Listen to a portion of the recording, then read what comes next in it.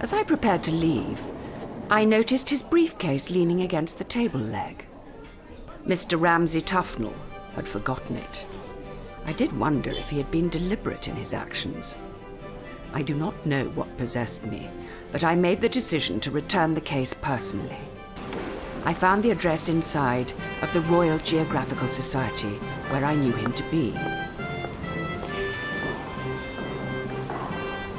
As I walked towards the reception, I met Ramsay coming down the staircase. He was most grateful for the return of his briefcase.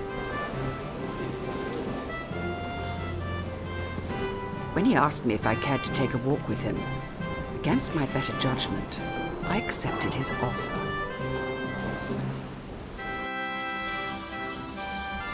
I spent the afternoon with him and lost complete sense of time. Is pounding at the thought of meeting him again.